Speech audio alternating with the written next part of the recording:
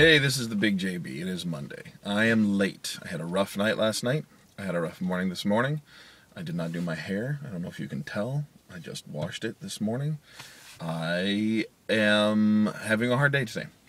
Um, all that said, I wanted to briefly say the grass is never greener. Um, people, we sit here and we look at the lives of other people and we envy the things that are going on in their lives. I do it, my wife does it, I know that my friends do it. We all look at other people, and you know what? Maybe other people don't do it the way that I do. Um, maybe other people aren't comparing themselves to other people.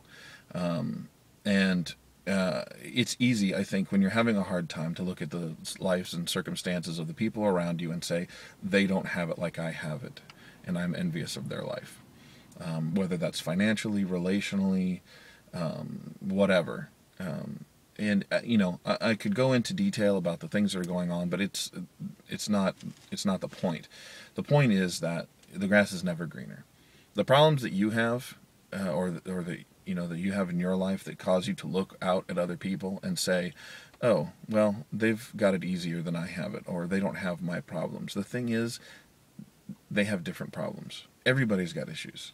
Everybody's got issues. So they may not be struggling financially, but they may also have really, really bad relationships, or the relationships may be great, but um, you know they're maybe they're not on the cusp of divorce like you are, but um, their finances suck, or your kids are tough to deal with and theirs aren't, but their husband is wacko jacko. You know, it, it all depends. It's all about perspective.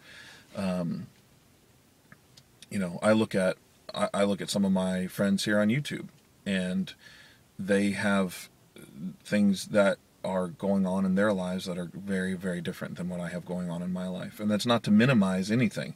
You, can't minimize the problems. The problems that you have for yourself seem very real, and they, I shouldn't even say seem very real. They feel very real in the moment. Um, and if we had some perspective, maybe we'd be able to look out and say, I mean, look back and be able to say, oh, well, yeah, that's probably not that big a deal.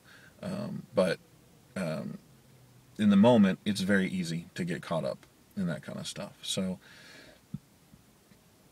I guess that's kind of where I'm at this morning.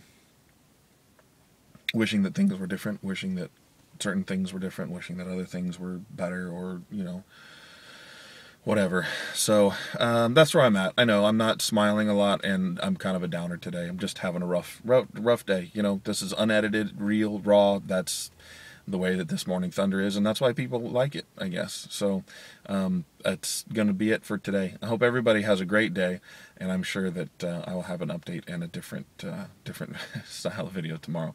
Thanks everybody for watching. Thanks for subscribing. Please follow me on Twitter at Voice of the Big JB, and I will see you tomorrow. Bye bye.